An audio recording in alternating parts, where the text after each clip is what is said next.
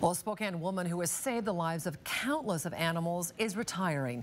Gail Mackie has told her board of directors she's stepping down after 32 years of service with Spokanimal.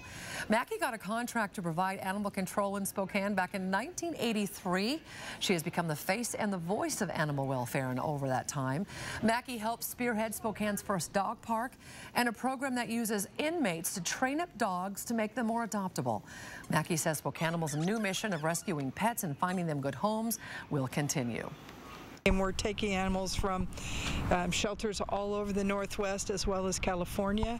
We're now even able to save some that um, that have special needs. We have two dogs that we're placing today um, that came from Missoula. Their owner passed away. They're 9 and 10 years old. Well, Mackie says that she has been grooming her replacement, Laura Tulene, for years now. Her last day is March 31st. You will be missed, Gail.